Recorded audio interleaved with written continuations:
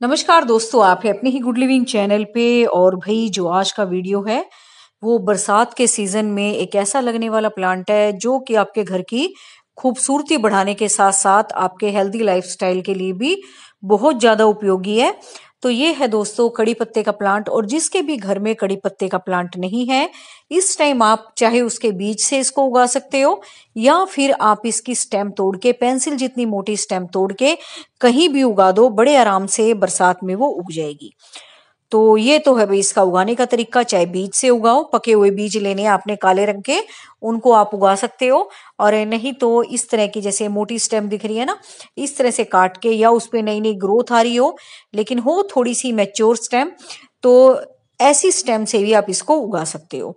तो ये दो तरीके हो गए हैं। अभी एवरग्रीन प्लांट है, अच्छी सनलाइट भी इसको चाहिए होती है, लेकिन बरसात के टाइम में दोस्तों बहुत आराम से आप इसको उगा सकते हो।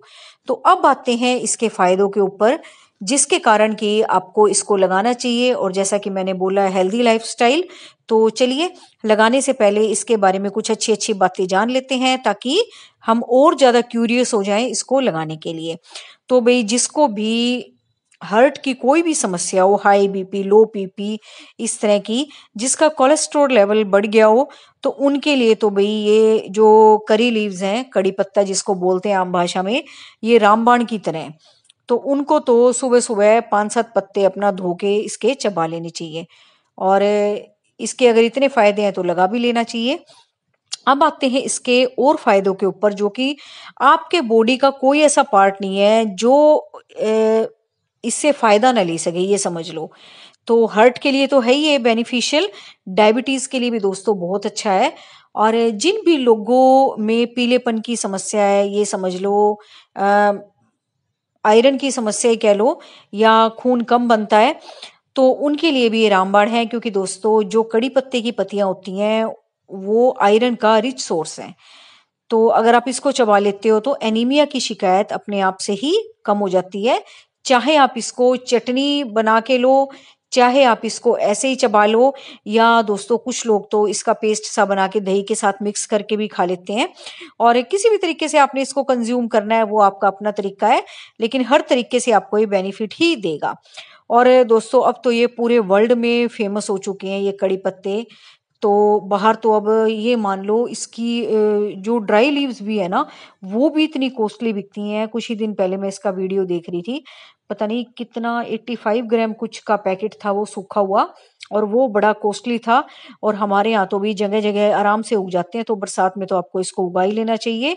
तो हर्ट के लिए भी अच्छा है और आपके बॉडी के लिए भी अच्छा है और दोस्तों स्ट्रेस को भी रिलीज़ करने के काम आते हैं पत्ते। और सबसे बड़ी बात दोस्तों कि जिसके बालों में चमक नहीं है या बाल रफ हैं तो वो लोग भी इसका बहुत यूज़ करने लग गए हैं। किसी भी तरीके से इसका पेस्ट बना के या जो अपना सिरप सा बनाते हैं ना बालों को शाइन देने के लिए या स्प्रिंकल करते हैं हेयर वॉश से पहले तो वो भी इसका यूज़ अपने हेयर वॉश में करते हैं और नहीं तो भी आपने पेस्ट बनाना है तो पेस्ट भी बना सकते हो आप अपनी हीना वगैरह के साथ मिक्स करके या जो हीना नहीं लगाते वो दही के साथ इसका पेस्ट बना के लगा सकते हो बालों में और आप बाल धोने के बाद खुद ही महसूस करोगे कि पहले से आपके बाल ज़्यादा आपको मज़बूत नज़र आएँगे।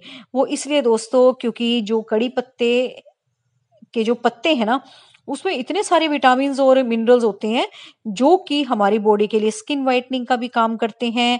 और ये समझ लो प्री मेच्योर जो ग्रेइंग होती है उनके लिए भी बहुत हेल्पफुल है। एंटीऑक्सीडेंट्स हैं, इसमें बहुत सारे हमारी बॉडी को डिटॉक्स करने का भी काम करते हैं और जितने भी फ्री रेडिकल होते हैं हमारी बॉडी में, उनको रिमूव करने का भी काम करते हैं। ज़्यादातर बीमारियों की जो जड़ होती है, वही होती है। और जो हमारे बॉडी में गंदे बैक्टीरियाज होते हैं, उनको भी निकालने का काम करते हैं। और स्किन के लिए आप इस तरह से कर सकते हो फेस मास्क भी इसका बना सकते हो।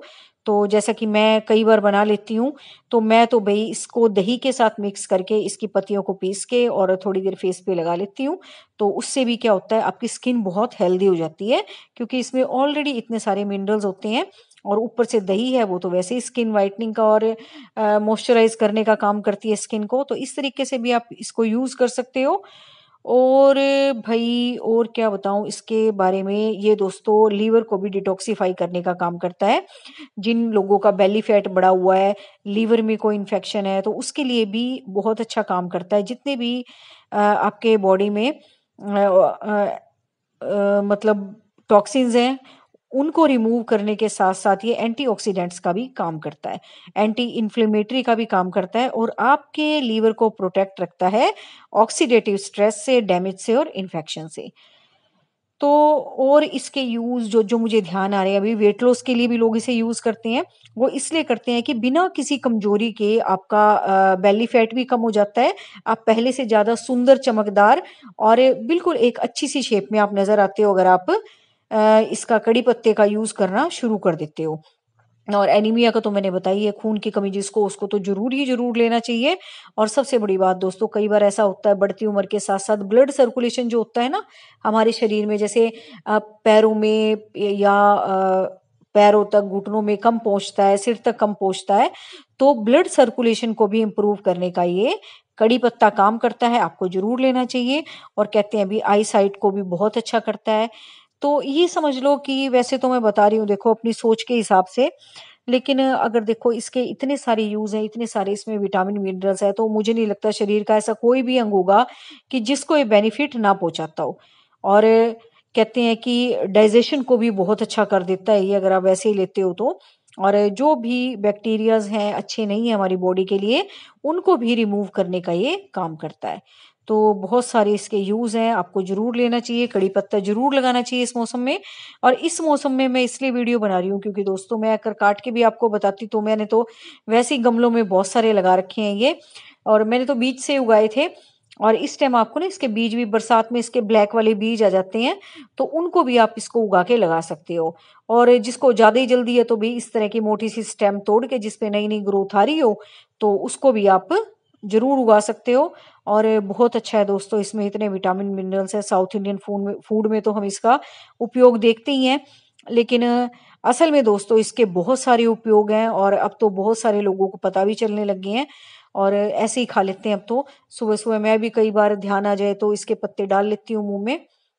और वैसे अगर मैं हेयर मास्क बनाऊँ या फेस का मास्क बनाऊँ तो इसके पत्ते मैं ज़रूर ऐड करती हूँ। तो वो भी आप कर सकते हो, जैसा कि मैं तो अपना एक्सपीरियंस बता रही हूँ। बहुत अच्छा रहता है ये। तो आपको किसी भी तरीके से लेना हो, चाहे आपके बॉडी इनटेक के लिए हो, या वैसे ही आपकी ब्यूटी के लिए हो, या हेयर पैक के लिए हो, हर तरीके से ये बहुत अच्छा है प्लांट आपको इसको ज़रूर उगाना चाहिए। बरसात में बहुत जल्दी उग जाता है ये। तो जिसके भी सूख गए हो, या जिसके पास ये प्लांट नहीं हो तो वो ज़रूर उगाए इस मौसम में। और इस तरह की नई नई जैसे ग्रोथ आ रही हो ना तो उस डंडी को भी आप डायरेक्ट लगा सकते हो।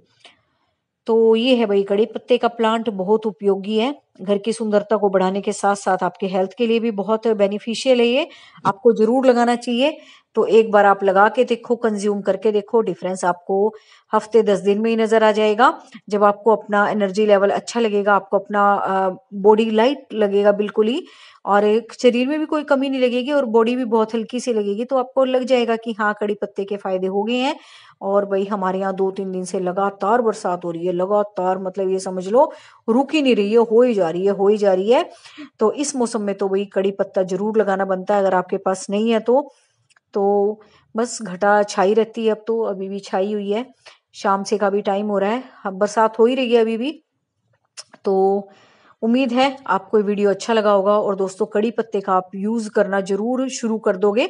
चाहे आप कितने ही हेल्दी हो, लेकिन किसी भी तरीके से आपके ज़रूर काम आ सकता है, क्योंकि जो दोस्तों जो हेल्दी लोग होते हैं, वो हर चीज़ को हेल्दी रखना चाहते हैं।